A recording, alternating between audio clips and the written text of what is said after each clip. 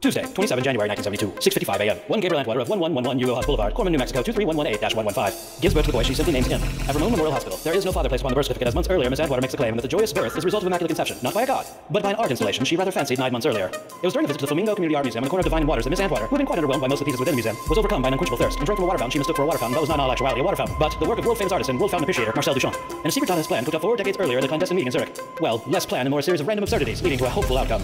Miss Antwater's celebration is short-lived as the boy, who eventually became a man, would disappear from the hospital grounds and be placed within the confines of the recently built moon base Psychotronic. The realization of a long gestating government project produced through the cooperation of the last remaining goddess and an East Village communal art cooperative.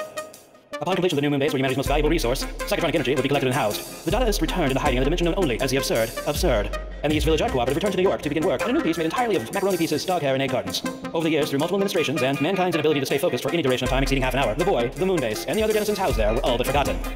That is, until now.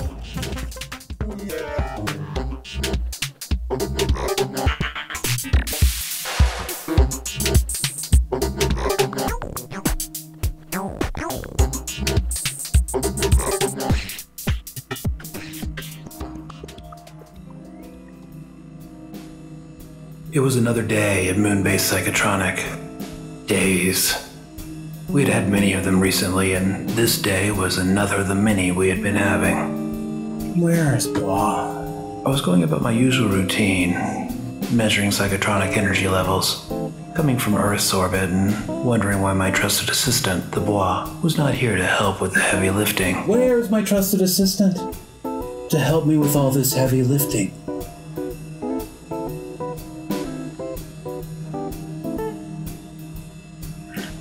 Should not be so quick to make such judgments against my trusted assistant's loyalty.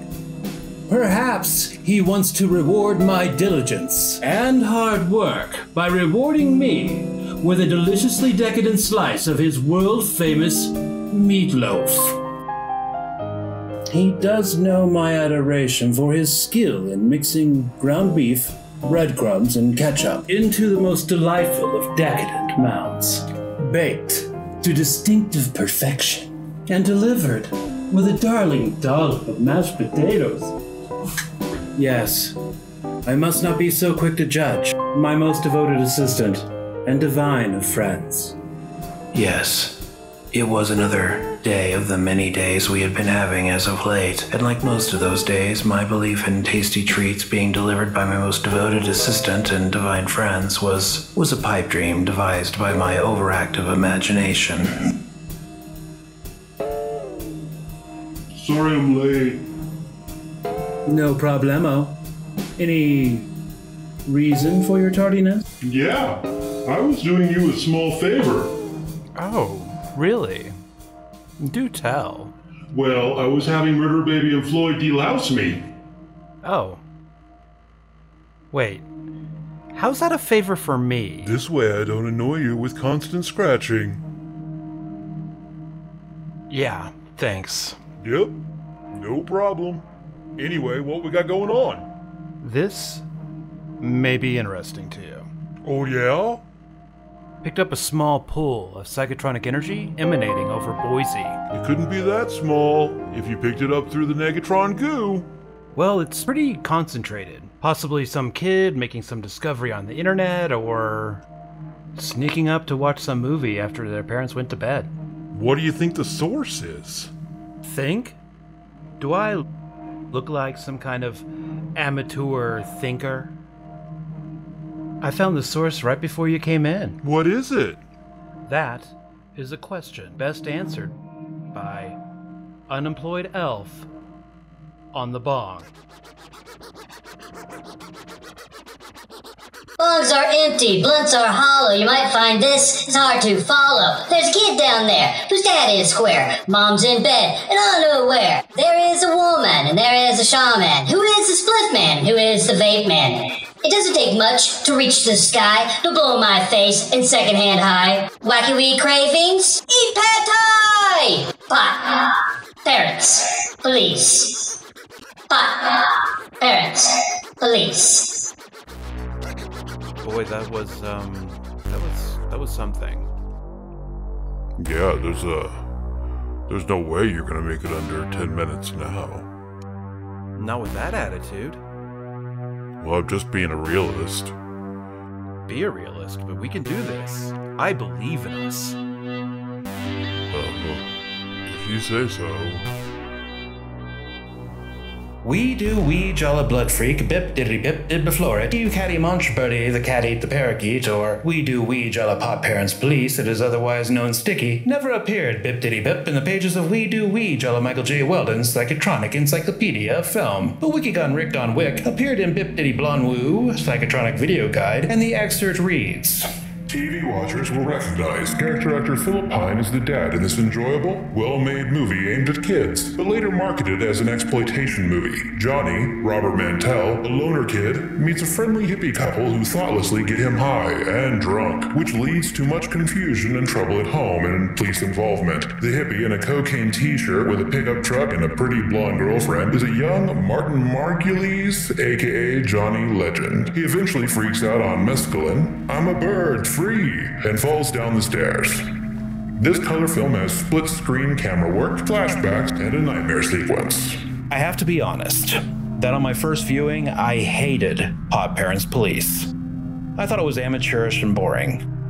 But on subsequent viewings, I've learned to love it. It feels ethereal and otherworldly, but also firmly planted in reality, if that makes sense, and truly unfit to be a part of the ocean of exploitation films released in the United States since the advent of the cinema, known as moral panic.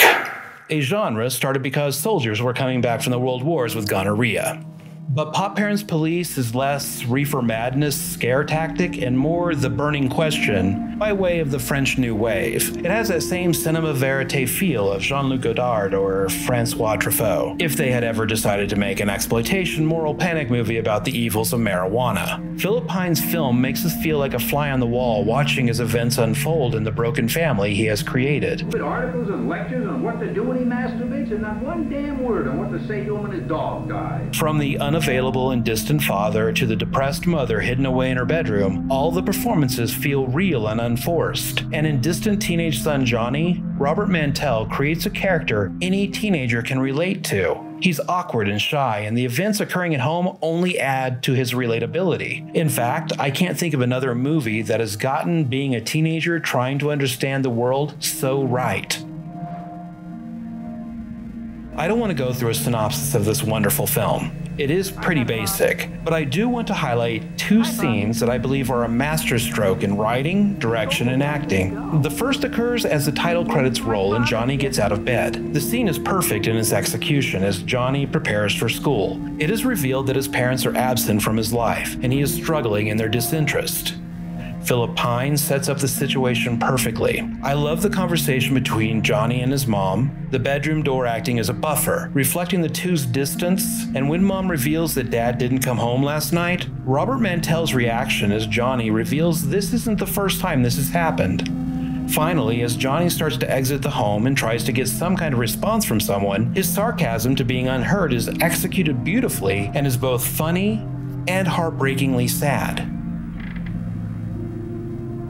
There's vulture out here eating a bear. The second scene comes midway through, when the two hippies allow Johnny to join them in the woods outside of town for a little pot smoking and wine drinking. Phillip Pine takes his time to develop the dynamic between the characters, with one shot close ups of each as they get higher, drunker, and celebratory. Just hold your breath for a few seconds.